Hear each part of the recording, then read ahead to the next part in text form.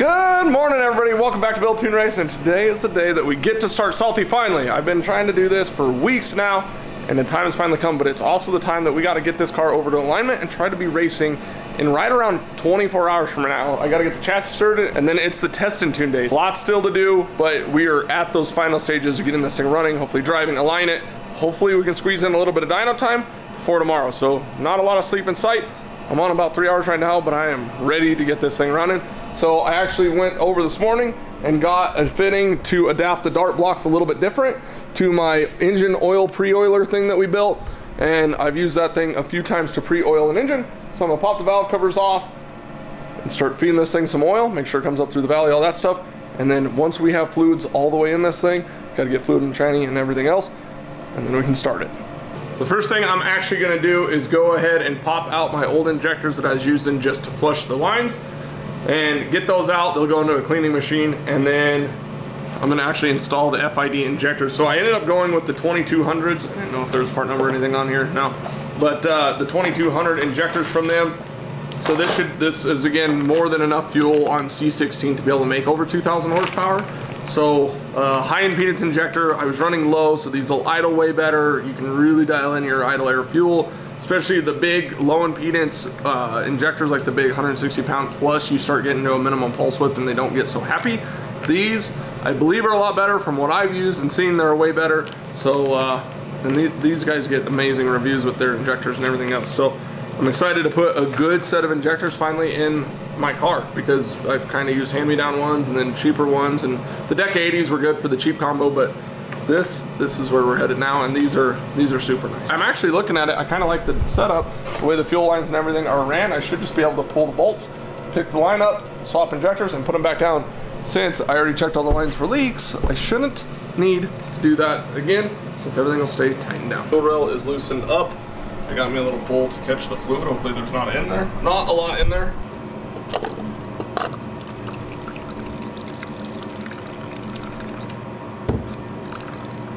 Oh boy. These a stubby style injector with the billet cap on top of it, but otherwise they're like a stock LS1 height, so these will go right in there. Injectors are all on, tightened down, everything's good, and bam, we got Ray, Alex, and AJ all showed up to help kind of bring this thing together. Ray brought me a piece to finish off. I got to weld like a little bung for the seatbelt mount in the cage. Alex and AJ are just helping me try to button up everything and keep me in line because I am I'm I'm tired and I'm I need a double check on everything at this point. So we're going to go ahead and prime the engine now. So oil is finally going in this thing. So like I said, I built this little deal. Just open this up, pour oil in it. Go ahead and pump some oil into it.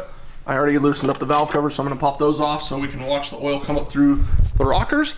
So once you see everything go through the top, pretty much pour, push all, I put a quart in the oil filter, push the other like five-ish quarts through here, and then you can always top off whatever through the fill cap.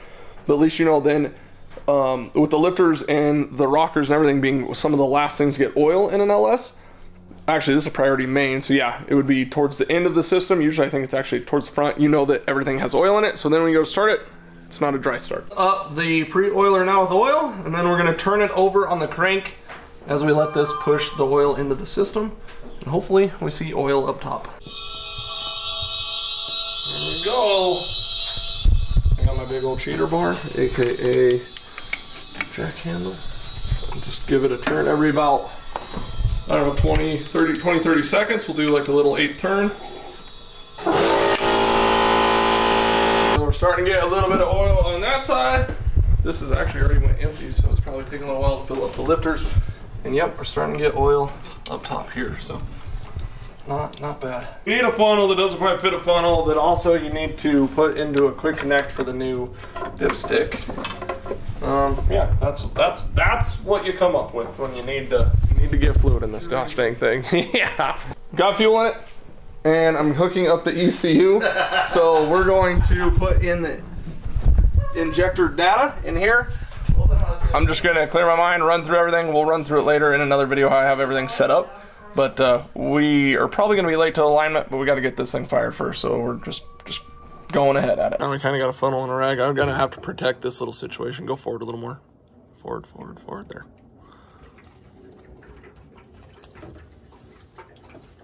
Oh, yes. That VP fuel.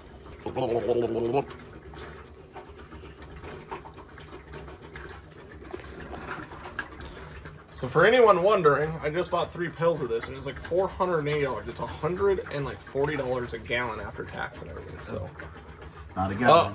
a, a pill. So it turns out to be about thirty dollars a gallon. Usually it's only about 20, 21, but now they're adding tax and that inflation and all the crap. So I think it's a little cheaper with another local guy, but he didn't have any, so we're just trying to make it happen. Many hours later, we totally missed the alignment time and everything, and we're actually jerking this side back apart. The little ORB that went into the Maven mount that I welded above the chassis, we, I couldn't get the fitting tight on it. I was gonna pull the turbo housing apart. I was like, I'll just pull the ORB fitting out and then we'll tighten it back up. Well, tighten it back up. Somehow it didn't go back in and it seems like it messed up the thread. So we're gonna pull it all apart and look at it. We've been fighting it and fighting it and trying this and trying this, trying that, put it all back in. So it's totally dicked. But um, we're gonna try to get it fixed. We're having somebody run and get a tap and die just in case we gotta chase threads and all that crap. So literally like 98% to firing this thing. And now we're going back apart with it because of issues. So um, very frustrated and uh, we're figuring it out. But we'll get it fixed and then we'll fire this thing here hopefully shortly. Oh, we're somebody. You guys, uh, you guys ready to? Oh, frick! Right? No. So that's how our day's going. Actually, April and Jess ran to I don't know whatever that place is. Ran to a local place, grabbed a tap and die. The the threads were kind of dicked on this thing. The threads we cleaned up on this just in case. Uh, I think we're gonna drill a hole and put a sleeve in there so we can actually get to it with the uh, dill so we don't fight it ever again. So we're kind of prepping to do that, and we said, you know what, just pull it apart, fix it all, make it right, and then move forward. So um, sometimes you gotta take a few steps back to move forward. Now it's dark outside. We got the turbo back in, and now we have an access hole to get to that little banjo fitting uh, so we don't fight that for multiple hours and mess up threads again. So now the car is easier to work on. Probably should have had an access like that first time, but I mean, it worked putting it together, so I was so worried about it. Then I was worried about it, and now we fixed it and kind of screwed us today. But we're, we're still working on it. Hell yeah, we are. Now we're gonna finish putting it together, and we're gonna try to fire this thing up. All right, all right, back together about, oh, I don't know, six hours later. But frick, guys, we're we're back. Literally, this is the moment that should have happened like six hours ago. So we'll see from here forward how it goes starting the car, um, and if we would have made it or not. And I hope, I hope so. But let's find out. Alex gonna finish up a few more little things. He's working on the bumper figure it alignment, and uh, we'll load a tune in this thing. and We're gonna go. Doing some checks. We need a radiator fan. Well, this is kind of fancy. It's a brushless Derale fan, uh, which made by SPAL or whatever, but it runs off of PWM minus, so you can control how much at what RPM, temp, whatever you want. So this is pretty sweet. So here's the bubble. We got it figured out and working. It runs off of PW minus, so it's backwards. Like 10% is 90. So if I go, or 10% I think is 100, and then it 90 is 10% or whatever. So 10%. Click it in there. It's on the deal. Takes it a second. Now she is full rip. Oh yeah, there a hole deal. That's pretty cool. You can control that up and down however you want. We're gonna try to fire this thing up. I'm gonna hop in on the other side. We got people in place just to check and verify everything goes good. Still got some programming to do as far as fuel pump and all that, figuring out the smart wire, but wish us luck. Fingers crossed. This goes good.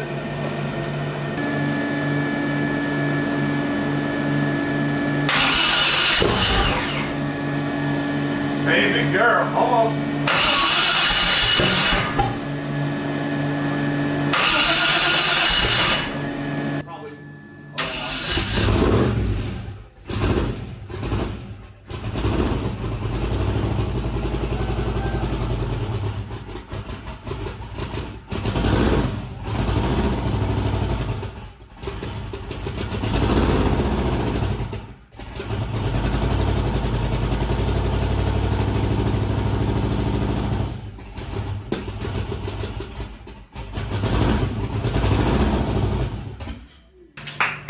Job, babe.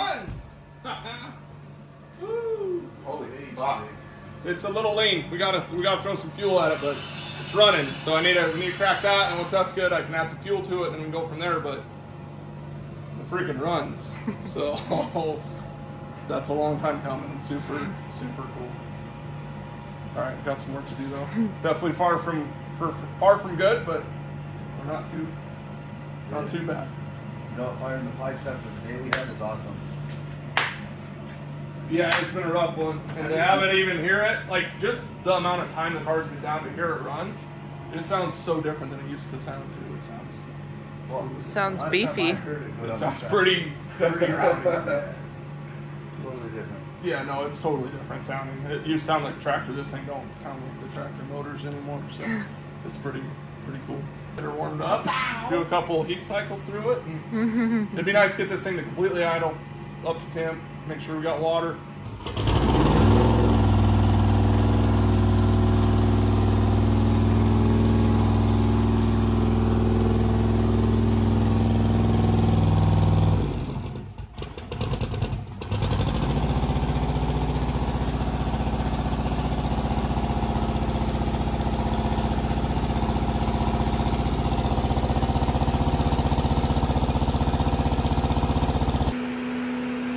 Been there, just working it, working it, adding fuel. I got actually limited to ten percent. It's wanting more than that, so I'm gonna, gonna adjust that. It just can do it quicker than I can sit there it. So otherwise, it's at 150 or 160 degrees. It's running almost idle. Uh, pretty much any time you get a car like this or a new throttle body, you have to crack the blades. They never send it to you with like the blades cracked open because then you go fire a car and it takes off and idles or runs away from you. So you pretty much always know you're gonna have to add some to the throttle body. So that's what we're doing. We're just, I think we're what, two turns in now? Now we're almost Yeah, it's three. all the way. The throttle uh, screws all the way in. You can't go in Oh, well, then we gotta figure out. So we gotta get We your. gotta figure that out. Yeah.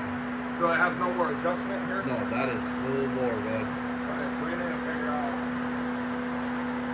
what the deal is. Because it shouldn't need to be all the way, but we'll figure it out. Normally it's like in between make at most. Yeah. So Which I need to get the fueling dialed in and then idle and then back and forth, so it's just a, a balance game. But we'll probably let it sit here and kind of heat soak for a minute and we'll keep playing. It's coming around.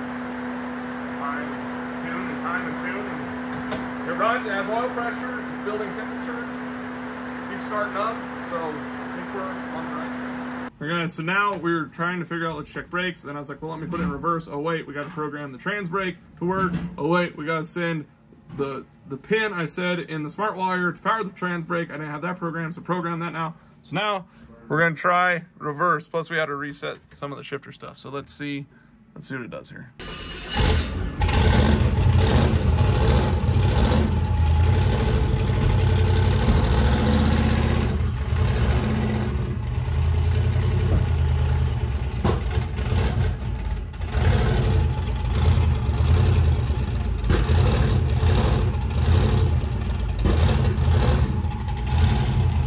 I don't know why we're missing out of one of the pipes, but reverse.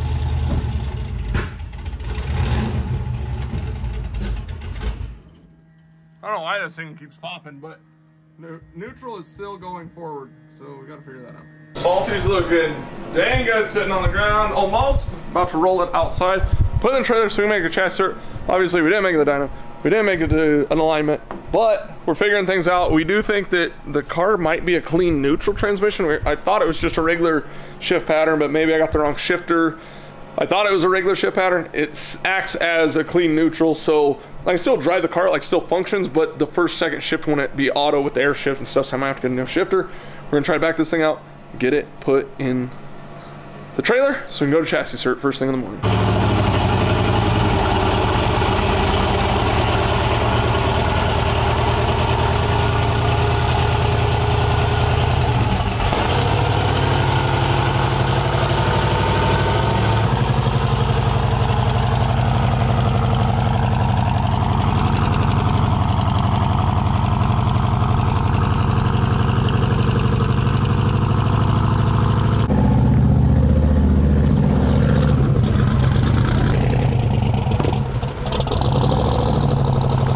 Well, 2:12 in the morning and Salty's officially not on the rack. Actually, Bernie's in here because we had to switch him out from sitting in the trailer. Salty's in the trailer. It's drivable. It drove in there and it's running and driving. It is not near as far as we wanted. I don't get to go race tomorrow. Probably for a reason of just not rushing and not doing that stuff. And when I know that there's just enough against it and it's not where I really want it to be, there's no sense in rushing it. We've spent all this time, money, effort, energy to get it where it's at. There's just no sense in rushing it. So the plan will be to really dial it in, probably drive it some, get everything figured out, all the little things and program everything, spend some time with car, get really familiar with all the settings and wiring and all that stuff, get it on the dyno, and then get to Vegas. So LS Fest West is in Vegas, and that's pretty much where we're going to end up debuting the car because I can't even run it tomorrow. So um, that'll be it, guys. Thanks for watching. I know today was crazy, but it wasn't for lack of trying of getting this thing done. But we got it done. If you want to see Salty's first passes, dyno pulls, and all that stuff, make sure you hit that subscribe button, hit the like button if you would for me to help push this out to new people. We'll see you guys in the next video.